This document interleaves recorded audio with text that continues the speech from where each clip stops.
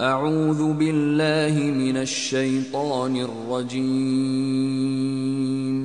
بسم اللہ الرحمن الرحیم کہ یہی نہیں کہ تم مشرق یا مغرب کو قبلہ سمجھ کر ان کی طرف منہ کر لو،